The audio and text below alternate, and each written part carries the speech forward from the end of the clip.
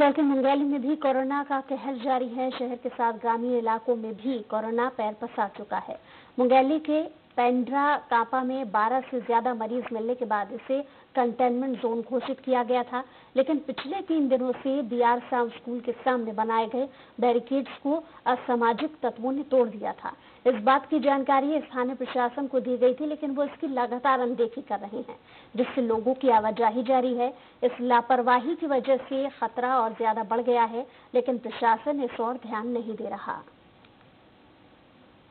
छत्तीसगढ़ में मुंगेली जिला इन दिनों कोरोना के लिए हॉट स्पॉट जिला बना हुआ है। न सिर्फ़ जिला बल्कि मुंगेली नगर पालिका क्षेत्र का जो पिंडारा कापा है, वो भी हॉट स्पॉट में तब्दील हो गया है। यहाँ बड़े पैमाने पर कोरोना के पॉजिटिव मरीज़ पाए गए हैं। इसके बावजूद प्रशासन और यहाँ की जो जनता है, उनमें कहीं न कहीं जागरूकता की कमी नज़र आ रही है। क्योंकि यहाँ जिस तरीके से लोगों की सुरक्षा के लिए बैरिकेटिंग तैयार की गई थी, उसको तोड़कर लोग आना जाना कर रहे हैं। पिछले दो दिनों से ये स्थिति बनी हुई है। प्रशासन के अधिकारियों को इसकी जानकारी दी गई है।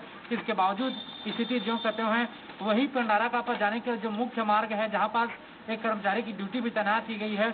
मगर यहाँ सभी बेधड़क लोग आना जाना कर रहे हैं तो कहीं ना कहीं जिस संक्रमण का जो खतरा है, वो लोगों के सर के ऊपर ही मंडाने लगा है। कैमरामैन नईम खान के साथ रोहित कश्यप स्वराज एक्सप्रेस मुंगेली